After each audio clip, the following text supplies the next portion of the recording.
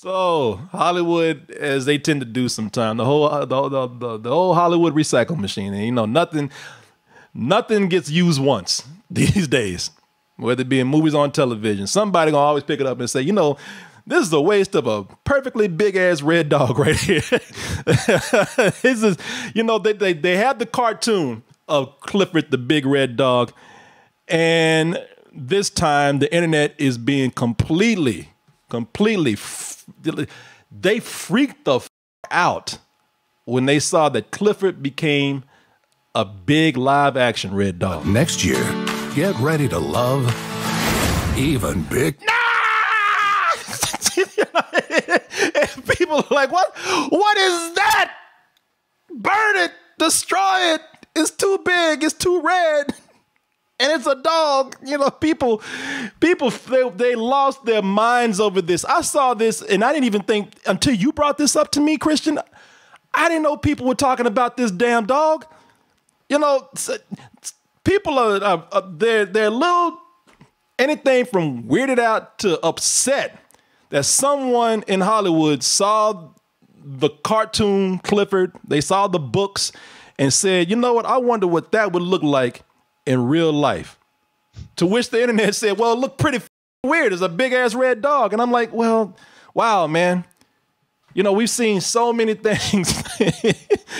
we just, not too long ago, and we're going to bring this up later. You know, it was uh, not too long ago, and people got upset about it, but people were happy to see a damn hedgehog run around in tennis shoes and sneakers collecting gold rings. You know, you guys are fine with not that one right there, but you guys are cool with that. But a big red dog. That's where we draw.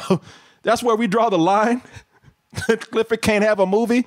Um, I think there's know, a couple things at play here. I think people are freaked out that well, it's clearly a puppy, right? So that's like that's not even its final form. That fucking freak is gonna get bigger, which is horrifying. Also, the shade of red is like reminiscent of like I don't know, like when you see old true crime stuff and they find like kids swimming in blood. That's yeah. what that looks like. That dog's been rolling around in a crime scene. Number three, my big issue is that it looks like they're doing the scale work from like Honey I Shrunk the Kids, which was revolutionary in '93, but maybe not so much in 2020. Yeah. Uh, there's a lot of things to be mad about, Corey. No, no, you know what? You, you're you're right, and I and just to say, I have my reasons for not freaking out about this. No, you are exactly right because I thought about that. I said that is that is clearly a puppy, unless they just wanted to look cute and they try to pass it off as an adult but that is a puppy, and you said it has not reached its final form. So that motherfucker's gonna be getting to the fight with Godzilla and King Kong by the time it's right. over that's the crossover we've been waiting for. That's the crossover. Maybe this is the prequel. I am a little weirded out too because I mean,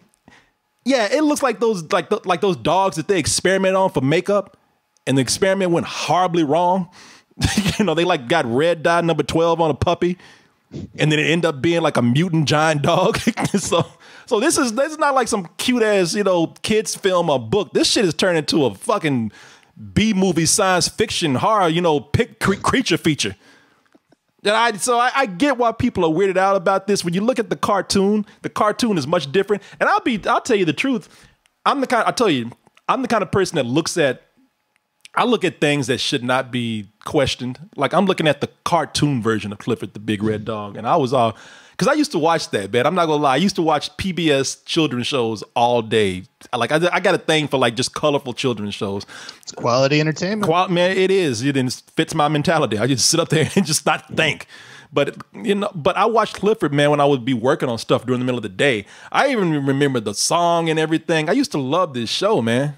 Clifford needed Emily, so she chose him for her own. Clifford grow so big just crushes it. No, Cl- no, Clifford, no. Do they ever get into the the parents? Uh, like response to the fucking dog getting so big because any normal parent would be like, we can't, we got to get rid of this fucking dog, honey. You know, yeah. Their little girls crying their eyes out, but it's like that's a pragmatic decision. Fuck you, kid. Yeah, you see how big this dog is. Like, first of all, it's like, no, we got to get this motherfucker to the government. You know, I was like that's what I was wondering. How come the government didn't come in ET style and like take this dog away to a lab and start dissecting his big mutant ass? You know, I I, I, I, used to question that with the show, so maybe I just finally gave up. So when they got to the live action, I said, "Well, nobody, nobody gave a shit, so I don't care anymore." You know, cool. It's actually an interesting way. Maybe that's the point of the movie, right? Because like if it's a live action film, that's something I think we should point out. It's not like Yeah. a hybrid CGI thing, I, I believe. Um, so it's already a decision not to do CGI. They decided to do like a live action to scale thing. But it's like, all right, because we saw that with Sonic the Hedgehog, which like, all right, redesign aside, ended up being Yeah. pretty competent of a film, and they kind of went that, they went geopolitical with it, which is just like, yeah, you want to do like a, a girl and her dog kind of movie, but like, but with with the ET aspect, like you said, he's a freak. He's a giant Yeah. dog. He's bigger than apartment buildings and shit. So like, how isn't it a movie about him being on the run? You know, like the Hulk or something. Yeah.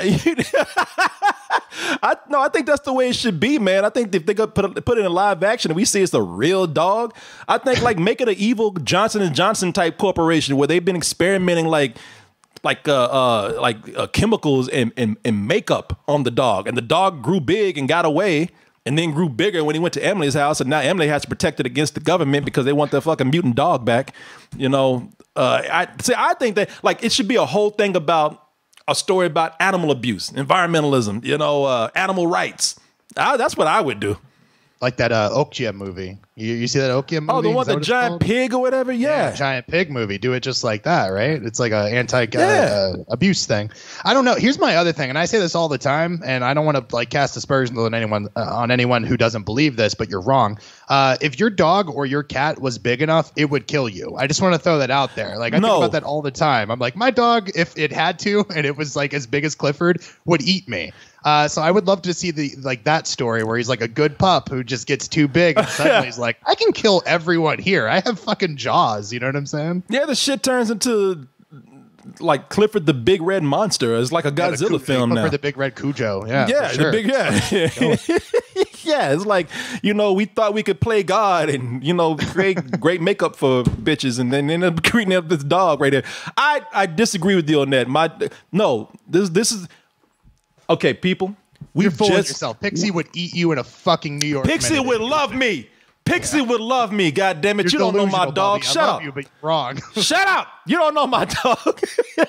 Listen, this is where this is this is how we prove that mentally dogs are better than cats. This is how we prove that cats are pure assholes.